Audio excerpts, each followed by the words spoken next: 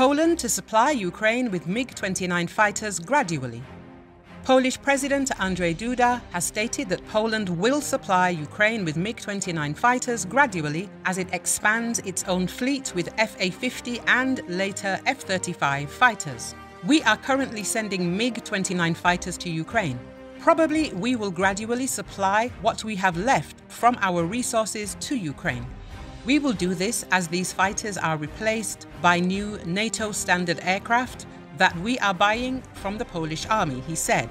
Duda said the new planes are FA 50 fighters that Poland has bought from South Korea and that the new planes will arrive in Poland as early as summer 2023, as will F 35s from the US.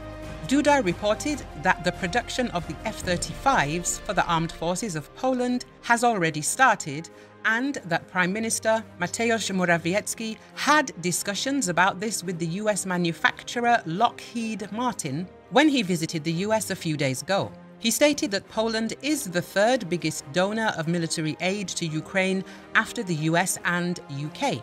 The Polish president also suggested that in the future, Poland might be able to transfer its entire fleet of MiG 29 fighters once the Polish Air Force acquires new aircraft to offset the loss.